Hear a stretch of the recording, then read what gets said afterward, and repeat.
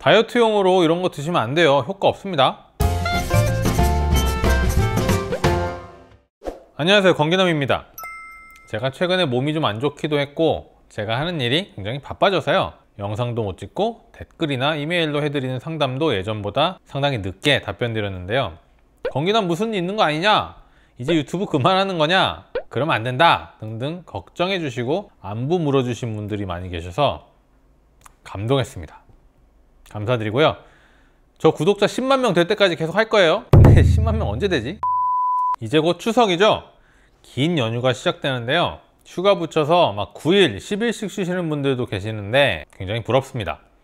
구독자 여러분 즐거운 연휴 보내시기 바라고요.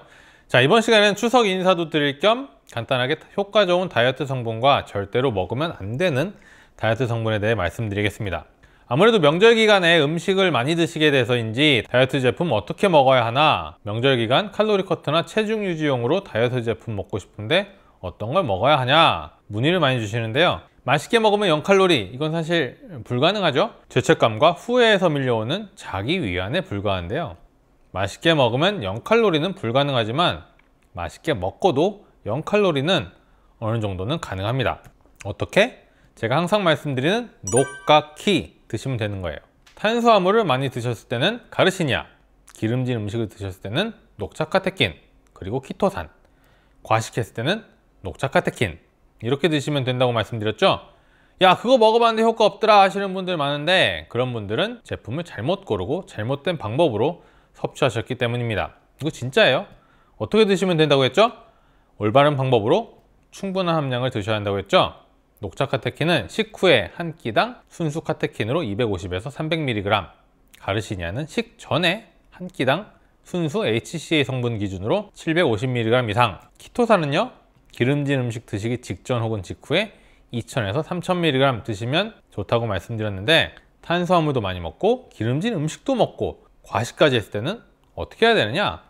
세 가지 다 드셔야 됩니다 세 가지 한꺼번에 먹으면 간에 무리가 간다. 그렇지 않고요. 설령 그럴 가능성은 거의 없지만 무리가 된다고 해도 그건요 장기간 섭취했을 때의 일이지 명절 기간에 며칠 정도 드시는 걸로 간 손상이 일어난다? 절대 그런 일은 없습니다. 녹각키에 대해 더 궁금하신 분들은 이 영상을 참고해 주시고요. 제가 이렇게 녹각키에 대해서 말씀드리면 그 성분들 메타 분석으로 살펴보면 효과가 없더라. 논문이나 보고 해라 이 사기꾼아 이런 말씀 하시는데 제가 항상 하는 말 왜 건강기능식품의 메타 분석을 들이댑니까? 기본적으로 다이어트 제품들은 의약품이 아닌 식품이죠. 의약품이 아닌 식품이기 때문에 의약품의 잣대를 들이대면 근거가 당연히 부족할 수밖에 없는 것이고요. 근거가 부족하다고 해서 무조건 무시하거나 효과가 없다고 할 수도 없습니다. 왜냐면 다이어트 성분들이 우리 몸속에 들어가서 정확히 어떤 일을 하는지는 그 누구도 정확히 알지 못하기 때문이고요. 우리가 매일 먹는 김치? 김치가 여러모로 좋다고 하지만 의약품은 아니죠?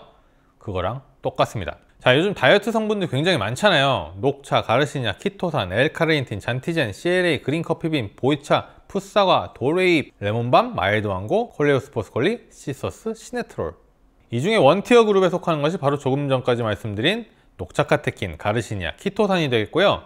그 다음 그룹이 엘카르니틴, 잔티젠, CLA, 그린커피빈, 보이차 정도가 되겠습니다 나머지 것들은 어, 효과가 있을 수는 있겠지만 제가 그렇게 추천드리는 성분은 아니에요 그럼 다이어트용으로 절대로 먹으면 안 되는 성분들은 어떤 것들이 있죠?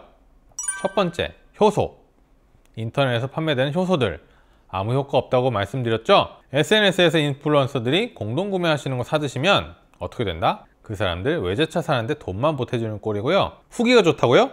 99.9% 가짜 후기죠 효소가 왜 아무 효과가 없는지 효과가 있을래야 있을 수가 없는지는 이 영상을 참고하시면 되겠습니다. 두 번째는 다이어트 유산균. 아직도 몇 년째 뚱보균, 날씬균 하면서 다이어트에 좋은 유산균 혹하시는 분들 많죠? 물론 기본적으로 유산균이 다이어트에 좋다는 말은 있어요. 그건요 유산균 제품이 몸에 매우 잘 받는다는 가정하에 유해균의 증식이 완벽하게 억제돼서 장이 건강해지는 거예요. 장이 건강해지면요 다른 장기들도 연쇄적으로 좋아지겠죠? 그러면 신진대사가 활발해지고 어떤 분은 붓기가 빠질 것이고 사람에 따라 매우 드물게 체중이 빠지시는 분도 계실 겁니다. 이게 그 원리예요. 유산균은 절대로 직접적으로 체지방 감소에 그 어떤 작용도 할 수 없다. 이렇게 알고 계시면 되고요. 그럼 시작처로부터 체지방 감소 기능성을 인정받은 유산균들은 뭐냐? 특별한 거 없고요. 일반적인 유산균들과 똑같다고 보시면 됩니다. 분명히 말씀드리지만 다이어트 목적으로 유산균을 드시는 것 자체가 건강기능식품의 현명한 소비는 아니라는 거 꼭 기억하셨으면 좋겠네요. 자 이번 시간에 좋은 다이어트 성분 그리고 먹어봐야 아무 효과 없는 다이어트 성분에 대해 말씀드렸고요. 추석을 앞두고 제가 꼭 말씀드리고 싶은 게 한 가지 있는데요. 명절 때는 아무래도 음식을 많이 먹게 되니까 앞서 말씀드린 다이어트 제품들을 드시는 건 좋은데 그 외 다른 건강기능식품이나 영양제는 한 번쯤 끊어보시는 게 어떨까 합니다. 요즘에 이렇게 병적으로 챙겨 드시는 분들이 많아서 말씀드리는 건데 건강기능식품의 영양제를 드시는데도 휴식이 필요하다. 이 정도 말씀드리면서 마치겠습니다. 이상 건기남이었고요. 추석 잘 보내세요.